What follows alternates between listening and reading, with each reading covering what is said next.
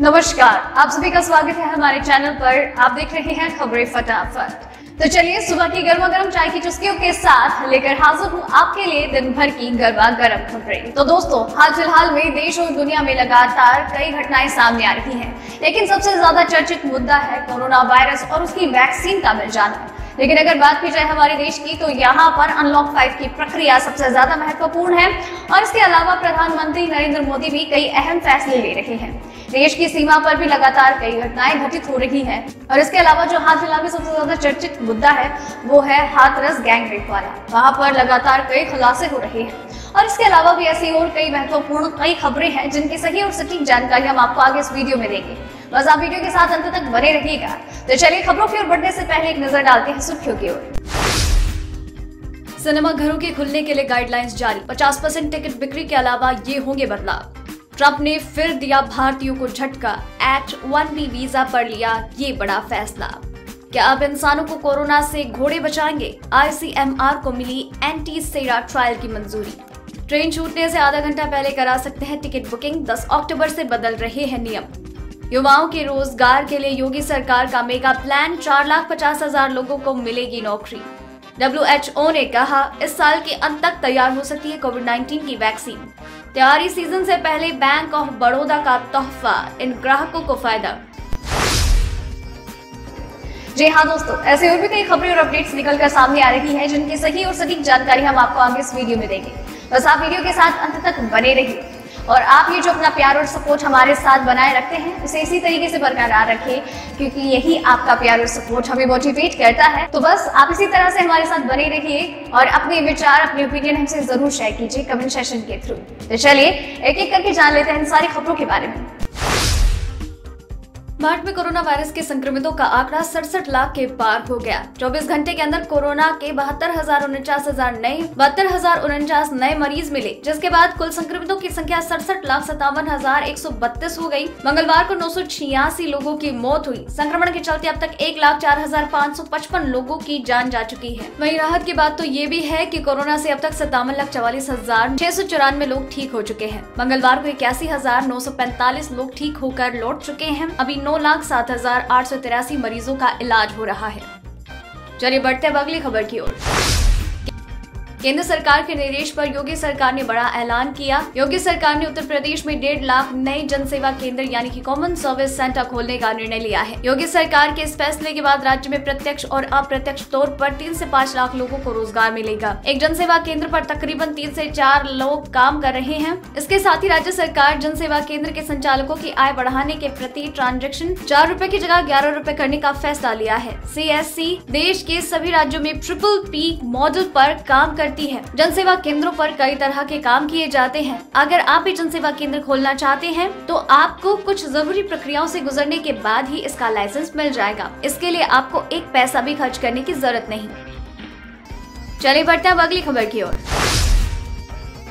सूचना एवं प्रसारण मंत्रालय ने सिनेमाघरों और मल्टीप्लेक्स में परिचालन से संबंधित दिशा निर्देश जारी किए हैं। उन्होंने कहा कि सिनेमाघर पर पिछले सात महीने ताले लगा है। वो अब 15 अक्टूबर से खुलेंगे। लोगों की सुरक्षा के लिए हमने एसओपी तैयार की है, जिसके तहत सिनेमा घरों में 50 परसेंट के बैठने की अनुमति होगी। एक कुर्सी छोड़कर बैठने की व्यवस्था होगी। मास्क लगाना अनिवार्य होगा। साथ में सैनिटाइजर ज़रूरी है। जावड़ेकर ने बताया की कोरोना ऐसी बचाव के बारे में जागरूकता फैलाने वाली एक मिनट की एक फ़िल्म दिखाया जाना या इस बारे में घोषणा किया जाना अनिवार्य होगा। उन्होंने कहा, एक शो खत्म होने के बाद दूसरा शो शुरू होने से पहले पूरा हॉल को सैनिटाइज करना होगा। सिंगल स्क्रीन में टिकट बुकिंग के लिए ज़्यादा खिड़कियाँ खोलनी होगी। सभी जगह ऑनलाइन टिकट बुकिंग को बढ़ावा दिया जाएगा। पैक्ड खाना मिलेगा।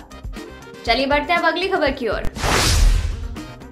कृषि कानूनों के विरोध में हरियाणा किसान रैली में शामिल हुए राहुल गांधी ने भारत और चीन के बीच बॉर्डर पर तनाव को लेकर भी केंद्र सरकार पर निशाना साधा। हरियाणा में सभा को संबोधित करते हुए राहुल गांधी ने दावा किया कि पीएम मोदी ने कहा था कि किसी ने भी भारत की ज़मीन नहीं छीनी। राहुल गांधी ने कहा कि आज दुनिया में केवल एक ही देश है जिसकी भूमि दूसरे देश के द्वारा ली गई है और पीएम खुद को देशभक्त कहते हैं। अगर हम सत्ता में होते तो पंद्रह मिनट से भी कम समय में चीन को बाहर निकाल फेंकते। वही पंजाब के पटियाला में राहुल गांधी ने कहा की देश में क्या हो रहा रखा है। इससे प्रधानमंत्री नरेंद्र मोदी को कोई फ़र्क नहीं पड़ता और वो केवल अपनी छवि बचाते हैं, जबकि कांग्रेस सरकार अपनी छवि के बारे में नहीं सोचती। अगर कांग्रेस की सरकार होती तो चीन को पंद्रह मिनट में बाहर निकाल फेंकते। वैसे दोस्तों, आपका समर्थन किससे है, मोदी जी या फिर राहुल गांधी? नीचे कमेंट सेक्शन में ज़रूर बताइएगा। चलिए बढ़ते हैं अगली खबर की ओर। अमेरिकी राष्ट्रपति चुनाव से पहले डोनाल्ड ट्रंप ने एच वन बी वीज़ा को लेकर एक नया आदेश जारी किया, जिसे भारतीयों के लिए एक बड़ा झटका माना जा रहा है। ट्रंप प्रशासन ने दूसरे देशों में कुशल श्रमिकों को दिए जाने वाले वीज़ा की संख्या घटाने का फैसला किया। सरकार का कहना है कि ये कदम अमेरिकियों के हित की रक्षा के लिए उठाया गया है, जिन्हें कोरोना महामारी के चलते आर्थिक मोर्चे आरोप नुकसान उठाना पड़ा। अधिकारियों के अनुसार H one B non immigrate के कारण पाँच लाख ऐसी ज़्यादा अमेरिकियों को अपनी नौकरी ऐसी हाथ धोना पड़ा। अमेरिका में तीन नवंबर को राष्ट्रपति चुनाव चुनाव होने हैं। ऐसे में ट्रंप के इस फैसले को वोटर्स को लुभाने का प्रयास भी माना जा रहा है। चलिए बढ़ते हैं अगली खबर की ओर। भारत के औषधि महानियंत्रक ने कोरोना वायरस महामारी के संभावित इलाज एंटीसेरा का इंसानों पर ट्रायल के लिए मंजूरी। Indian council of medical research को मंजूरी दी है। आईसीएमआर के अधिकारियों ने बताया कि एंटीसेरा घोड़ों में अक्रिय सास कोव टू का इंजेक्शन देकर विकसित किया गया है। आईसीएमआर के महानिदेशक डॉक्टर बलराम भार्गव ने मंगलवार को प्रेस कॉन्फ्रेंस में ये जानकारी दी। उन्होंने बताया की एंटीसेरा का विकास आईसीएमआर ने हैदराबाद स्थित pharmaceutical company biological E limited के साथ मिलकर किया। हमें अभी अभी उसका क्लिनिकल ट्रायल करने की अनुमति मिल गई। रुकिए, खबरें खत्म नहीं हुई हैं। ये सिलसिला लगातार यूँ ही जारी रहेगा। और आप चाहते हैं कि आप कभी भी कोई भी खबर मिस ना करें, कोई भी अपडेट आपसे ना छूटे तो अभी चैनल को सब्सक्राइब कर लीजिए बेल आइकन को दबा दीजिए, ताकि आप तक तो नोटिफिकेशन पहुँचता रहे। तो चलिए, बढ़ते हैं अगली खबर की ओर, जहाँ जानेंगे मौसम का हाल, साथ ही जानेंगे पेट्रोल और डीजल के दाम। मौसम विभाग के माने तो अगले पाँच दिनों के दौरान देश के कई हिस्सों में भारी बारिश होने की संभावना है। मौसम विभाग के माने तो अंडमान और निकोबार द्वीप समूहों में भारी वर्षा की संभावना है। अगले पाँच दिनों के दौरान उत्तर पश्चिम भारत के अधिकांश हिस्सों में मौसम शुष्क रहेगा। वहीं दिल्ली, हरियाणा, पंजाब और राजस्थान में भी मौसम शुष्क रहेगा। सुबह व शाम का मौसम आरामदायक होगा। एक दो स्थानों पर मौसम ठंडा और दोपहर में हल्का गर्म होगा। हिमाचल प्रदेश और जम्मू कश्मीर में पहाड़ों में सुबह में तापमान में गिरावट होगी, मौसम ठंडा होगा और दिन में मौसम शुष्क और आरामदायक रहेगा। दिल्ली एनसीआर की बात की जाए तो यहाँ पर भी मौसम ने करवट ली है। मौसम विभाग के अनुसार बिहार से 10 अक्टूबर से पहले मानसून विदा हो जाएगा।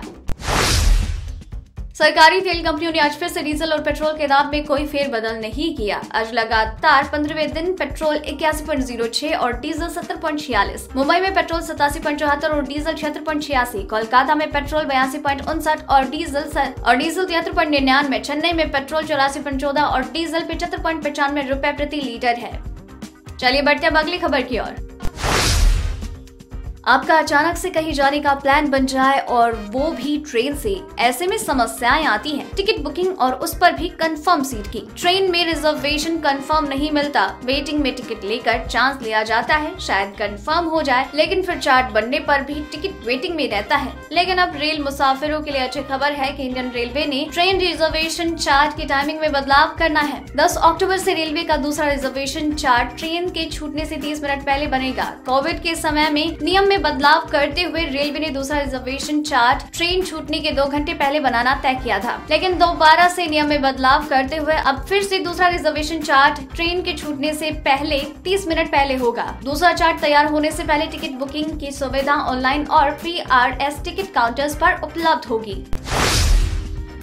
डब्ल्यू के प्रमुख ने कहा कि कोविड 19 के खिलाफ एक वैक्सीन साल के अंत तक तैयार हो सकती है। संगठन ने हालाँकि इस पर विस्तार से कोई जानकारी नहीं दी। डब्ल्यू के महानिदेशक टेट्रॉस ने सभी नेताओं के द्वारा एकजुटता और राजनीतिक प्रतिबद्धता का आह्वान किया कि वो टीके के उपलब्ध होने पर उनका समान वितरण सुनिश्चित करें। तो दोस्तों, आज की इस वीडियो में बस इतना ही। खबरों का ये सिलसिला यही खत्म करते हैं। लेकिन आप तक ये बड़ी बड़ी खबरें लगातार यूँ ही पहुंचाते रहेंगे। आप बस चैनल के साथ बने रहिए, चैनल को सब्सक्राइब कर लीजिए। और अपनी फैमिली फ्रेंड्स के साथ इसे शेयर भी कीजिए और इसे लाइक भी कीजिए।